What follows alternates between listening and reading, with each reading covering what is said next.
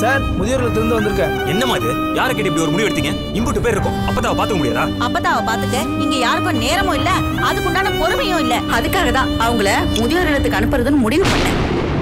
வணக்கம் சார். அத்தை நீங்க கிளம்புங்க. நான் பேச வந்ததே அப்பத்தா கிட்ட தான். அவங்க ஹஸ்பண்ட் எழுதின உயில் ஒன்று இருக்கு. வைகை ஆத்தங்கரையில் உள்ள எனது இருபத்தி ஐந்து ஏக்கர் நிலத்தை என் மனைவி தெய்வானை பெயரில் எழுதி வைக்கிறேன். Thenmozhi BA powered by Licious உங்கள் விஜய் மற்றும் டிஸ்னி பிளஸ் ஹாட் ஸ்டாரில்